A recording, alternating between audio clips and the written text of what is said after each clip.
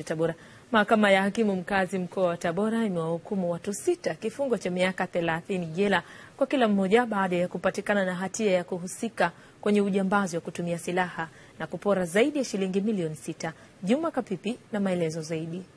Akisoma maelezo ya kesi namba 44 ya mwaka 2014 iliyomhusisha mshtakiwa Sadiki Hamisi na wenzake watano, hakimu mkazi mkoa wa Tabora Jackton Lushwela amesema baada ya mahakama kupitia maelezo ya pande zote na ushahidi uliotolewa imejiridhisha kuwa Sadiki Hamisi, Silvesta Musa, Abeli Benedikto, Haji Athumani, Ramadhani Nkunya na Francisco Kasinje walihusika katika tukio la ujambazi wa kutumia silaha huko katika kijiji cha Usoke wilayani Urambo.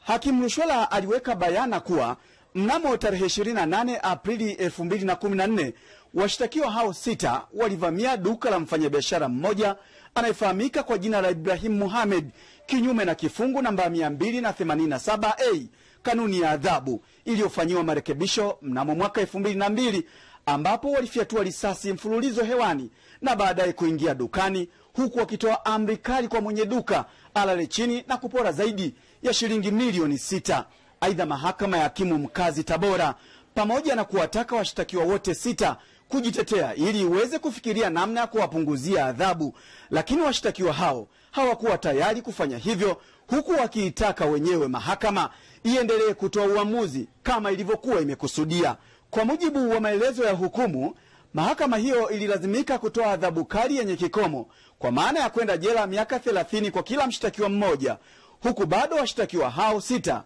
wakati wanaanza kutumikia kifungo hicho wanaendelea kukabiliwa na tuhuma nyingine za mauaji ya askari polisi wawili wa kituo cha polisi Usoke waliouawa wakati wa majibizano ya risasi baada ya kufanya tukio hilo la ujambazi wa kutumia silaha.